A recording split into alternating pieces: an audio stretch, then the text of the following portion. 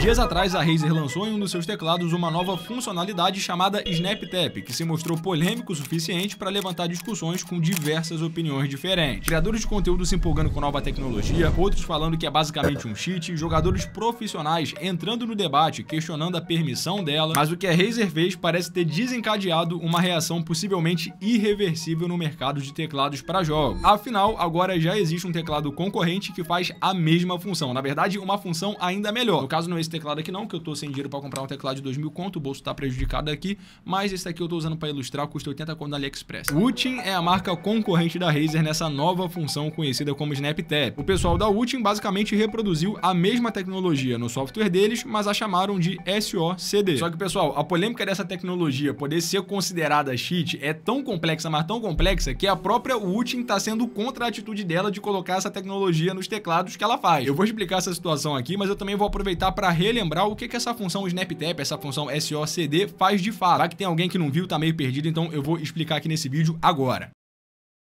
A melhor faquinha desse jogo pode aterrizar bem no seu inventário, ou então uma dessas 10 flips, que já foi o modelo favorito de AWP lendário. Eu tô sorteando 11 facas para 11 pessoas diferentes, sendo uma Butterfly aquecimento de aço e o restante de flips com modelos variados, tudo brilhando lindamente com a Source 2. Para participar, você vem no K-Drop, o maior site de abertura de caixas do mundo. Aqui, colocando qualquer valor com cupom Polix, você ganha 10% bônus, saldo grátis se for sua primeira vez e direito de participar do sorteio. Basta preencher o formulário aqui na descrição desse vídeo. O K-Drop oferece caixa de todos os tipos e de todos os preços também, além do famoso sistema de upgrade. Porém, o site é apenas para maiores de idade e nunca se esqueça de entrar aqui com responsabilidade. Boa sorte no sorteio e fique esperto porque se o sushinho apitar, pode ser uma delas chegando. A função SnapTap da Razer ou a SOCD da Ultim vão fazer a mesma coisa, você vai obter o mesmo efeito na prática, e elas vão atuar principalmente na ação de Counter-Strafe do CS e do Valorant. Eu não jogo Valorant, mas eu jogo CS há anos e eu posso dizer que é uma das mecânicas mais importantes do jogo e uma das mais difíceis de dominar também. Entendeu? Counter-Strafe é bananada. Tô aqui com o meu CS aberto, tô com o meu tecladinho também aparecendo na tela, então o que eu apertar aqui vocês vão ver, e ali no meio da tela vocês conseguem ver a minha mira e um quadrado amarelo em volta dela. Esse quadrado tá indicando onde o meu disparo pode pode ir se eu, né, apertar o gatilho. Como eu tô parado, vocês estão vendo que o quadrado tá muito preciso, tá muito fechado. Então, se eu disparar, o tiro vai pegar onde eu tô mirando mesmo. Agora, se eu começar a me mexer, o bagulho já desanda. Olha só, cara, onde os disparos podem ir. É aleatório, tá ligado? Os disparos podem ir tanto em cima quanto embaixo, quanto pros lados, né? Nessa área aqui desse quadrado. É por isso que você sempre escuta que no CS você precisa atirar parado, cara. Atirar correndo é um crime nesse jogo. Porém, durante uma partida, se você ficar paradão aqui, você vira um alvo fácil. E além disso, vão ter diversas situações que você vai precisar estar em movimento, porque você vai precisar abrir pixel, né, pra pegar seus adversários. E é justamente aqui que entra o Counter-Strike. Se liga só, vou exemplificar com aquele boneco que tá ali no fundo, beleza? Vamos supor que eu tô aqui numa partida, tô jogando na moral e vou fazer a abertura ali pro bomba. Então eu vou dar esquerda pra direita, localizei o boneco, passei passei na cabeça dele, atirei, errei, óbvio. Por que, que eu errei feio? Porque eu tava em movimento, eu não parei pra atirar. Só que se liga, ó, eu tô apertando a tecla D. Se eu soltar a tecla D pra parar, você vai reparar que o quadrado amarelo demora pra fechar, tá ligado? Tem um delayzinho ali pro meu boneco realmente parar, não é instantaneamente quando eu solto a tecla D. Pra deixar esse movimento de parada mais rápido, o que, que a gente vai fazer, ó? Eu vou apertar o D, Vou soltar o D e vou dar um toquezinho no ar. Então, ao invés de só parar aqui de apertar a tecla D, eu vou, ó, soltar a D e dar um toquezinho no ar, que eu vou parar bem mais rápido, tá ligado? Do que só soltando o D. Então aqui, ó, eu vou só soltar o D, e agora vocês vão ver a comparação de soltando o D e apertando o A, já fecha mais rápido, sacou? Esse é o movimento do Counter-Strike, esse A e D, né? Essa sapiência que você tem que ficar aqui pra ter mais precisão. Então, ó, vou atirar, parei, pô, atirei, tomou. Simples assim. Tá, mas agora onde é que entra o Snap Tap? O que que acontece? Num teclado normal, sem a função Snap Tap, eu vou apertar aqui a tecla D, beleza? E se eu apertar a tecla A, que é a direção oposta, o meu boneco vai parar, correto? Ele só vai começar a ir para a esquerda quando eu soltar a tecla D. Então, ó, soltei a tecla D, agora meu boneco está indo para a esquerda. Com a função Snap Tap ativada, isso não vai acontecer. Ele vai considerar somente a última tecla que você apertou. Então, se eu tivesse com o Snap Tap ativado, apertando a tecla D e em seguida apertasse a tecla A, mesmo se eu não soltasse a tecla D, o meu boneco ia começar a se mover para a esquerda, porque ele consideraria, né, o meu último comando que foi na tecla A. Ou seja, ele trocaria de direção instantaneamente. Na prática, galera, o que que isso faz de diferença, né, aqui no CS? A função basicamente elimina o atraso da ação humana. Afinal, sem o Snap Tap, o que, que eu preciso fazer? Eu preciso ter aqui o time certinho de soltar o D e apertar o A, correto? Além disso, eu preciso esperar, né, realmente a tecla D subir para o meu teclado entender que eu não tô dando esse comando aqui na tecla D. Um o Snap Tap, não precisa esperar a tecla voltar aqui para cima pro teclado entender que eu larguei a tecla, né? E eu também não preciso acertar o timing aqui de soltar a tecla A para mudar de direção e apertar a tecla D. Ou seja, galera, vamos supor que eu tô com o Snap Tap ativado, tá? A minha mira tá passando na cabeça do boneco. Pra minha mira fechar, a gente já sabe que tem que fazer aquele Counter Strafe, correto? Com o Snap Tap, o Counter Strafe é extremamente mais rápido. Ele elimina muito o atraso da ação humana. Então, ó, eu poderia estar tá aqui que quando eu passasse no boneco, eu ia apertar a tecla A, que ele ia mudar de direção e eu ia acertar, entendeu? A própria Razer divulgou um vídeo mostrando a diferença. Se liga só, Snap Tap Off, você vê que o quadrado amarelo fica maior por muito mais tempo na tela, porque existe o delay da ação humana ali, né? De ficar soltando a tecla A dando tapzinho na tecla D. Já com o Snap Tap On, o boneco fica muito mais estático, muito mais, tipo assim, preciso, né? Parece uma parada mais mecânica. Você só fica ali no A e D e, mano, vai atirando, basicamente. Preste atenção como o quadrado amarelo fecha mais rápido, tá ligado? Eu acho que esse clipe aqui do vídeo que o Otmon fez sobre a função SnapTap, né? Ele tava usando a função SnapTap nesse clipe, ilustra perfeitamente o que que ele significa na prática, quão apelão é. Olha o disparo que ele vai conseguir acertar, tá? Vou até botar o áudio do clipe mesmo que ele esteja falando em inglês de fundo, ó. Vamos voltar, vamos voltar. Olha isso, cara. Parece que ele tá, tipo assim, andando ainda, galera. O boneco trava, tipo assim, tão rápido quando ele aperta a direção oposta, que a impressão que dá quando você tá assistindo alguém jogar com o Snap Tap ativado, ou então, né, você tá pegando o adversário contra, você tá vendo o adversário vindo na tua direção, a impressão que dá é que o cara ainda tá em movimento, que ele não parou pra disparar. Essa já é uma característica do Counter-Strafe, só que Aqui, mano, o bagulho é elevado ao extremo, entendeu? Tá, entendemos a função, entendemos como ela é apelona, mas a pergunta é, ela é permitida em campeonato? Até então, a resposta é sim. A Razer informou que entrou em contato com grandes organizadoras de campeonato e elas confirmaram que o teclado é sim permitido nas suas competições. Alguns jogadores profissionais já até testaram essa função e aprovaram. Um exemplo é o Sherton, que tá aí jogando pelo time da Mouse, um dos melhores times do mundo de CS. O cara usa esse teclado aí, já deve ter até usado em campeonato essa função. Agora, vários outros jogadores profissionais não curtiram essa funcionalidade e interpretaram basicamente como cheat. Eu mostrei no vídeo passado, né, o Hobbs falando que, tipo assim, a função só servia para tirar a falha humana e que isso não era bacana. Afinal, são jogadores profissionais, são pessoas jogando o jogo, tá ligado? Então, né, não faz muito sentido. Compararam o SnapTap com o NuBind. NuBind são praticamente ali um compilado de comandos de binds que você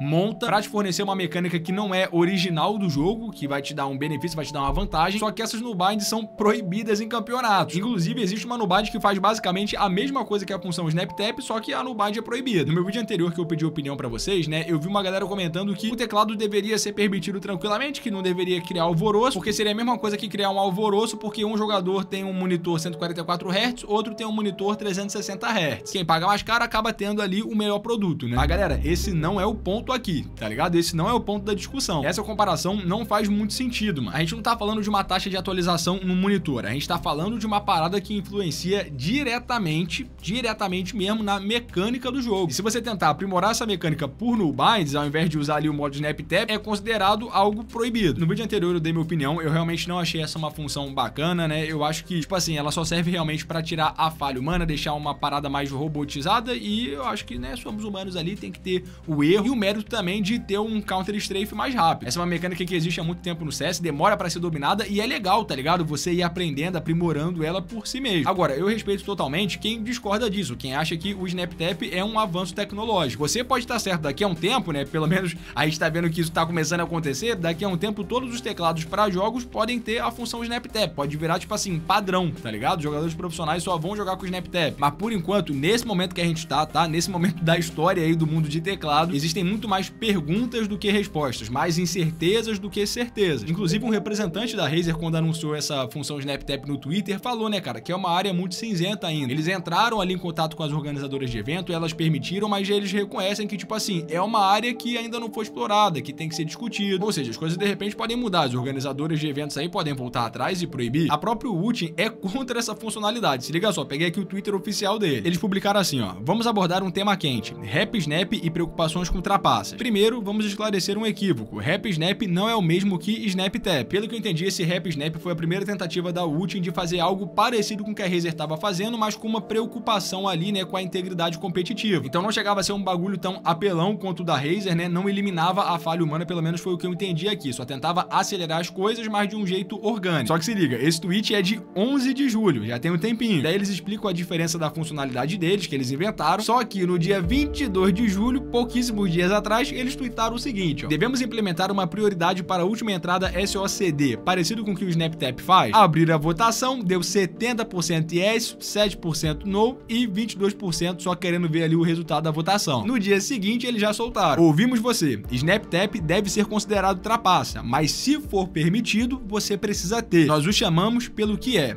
SOCD e o tornamos melhor. Aí eles mandam o link ali do beta, né, dessa funcionalidade para os teclados da UT. Então, resumindo, a UT tentou fazer ali uma reação, né, à tecnologia da Razer, a SnapTap, depois recuou um pouco e pediu opinião para a comunidade deles, né, se eles deveriam implementar o SnapTap nos teclados da UT e no final eles implementaram chamando de SOCD. Só que você vê que eles mesmo falam, né, que concordam com quem diz que é considerado trapaça. Eles mesmo não, tá ligado? Não estão gostando da atitude dele. Mas deu para entender também, né, o que, que eles quiseram fazer. Já que estão permitindo e eles, cara, têm um compromisso com fornecer, né, a melhor performance possível nos teclados dele, nada mais justo que eles adicionarem. Eles estão jogando o jogo tendo compromisso com as pessoas que usam o teclado para jogar em alto nível. E aí, por que que eu disse que o SOCD é um pouco melhor do que o SnapTap da Razer? Por duas coisas, cara. A primeira é a seguinte, a Ultim conseguiu disponibilizar essa funcionalidade para todos os teclados já lançados pela marca. Não importa quanto tempo já foi lançado, você vai conseguir ter essa função. O da Razer só vai funcionar em teclados Razer Huntsman V3 Pro. Aí você tem os tamanhos, né? Full size, TKL, tem um mini, mas só nessa linha de teclados Razer Huntsman V3 Pro. Ah, eu tenho o Black Widow da Razer, não vai funcionar. Tem outra versão do Huntsman que não é V3 Pro, não vai funcionar. E a segunda coisa que, na minha opinião, é melhor é que no SOCD você consegue escolher qualquer par de tecla para fazer a função SnapTap. Pelo que eu sei, na Razer é só o A e o D mesmo. Claro que praticamente, cara, você sempre vai usar só no A e no D mesmo. Porém, no SOCD, se você quiser, você consegue botar ali no W e no S. Ou seja, as funções de ir pra frente e pra trás. E aí, olha o que eu já achei aqui no Reddit, moleque, o negócio, cara, o CS não sei o que vai virar, não. Aqui o cara diz que, utilizando o Ultim SOCD, conseguiu ter mais precisão nos disparos que ele dá apertando o W correndo pra frente. Ele só precisou bindar a tecla S na barra de espaço. Ou seja, ele botou a função de ir pra trás, né, ali no jogo, na barra de espaço que fica mais fácil de apertar do que, né, apertar o S. WSD é muito mais fácil de você ficar, tá ligado? Balangando, apertando ali um e outro, alternando entre os dois. Agora, o WS não. Você precisa aqui, ó, tá ligado? Eu, pelo menos, tiro meu indicador do D e preciso, tá ligado? Fazer, ó,